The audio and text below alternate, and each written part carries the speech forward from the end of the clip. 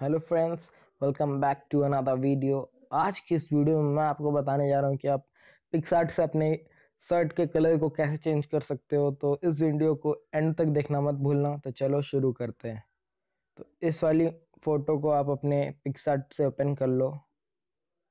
और, मैं आपको इसकी वीडियो बना दे रहा हूँ। आप देख लो।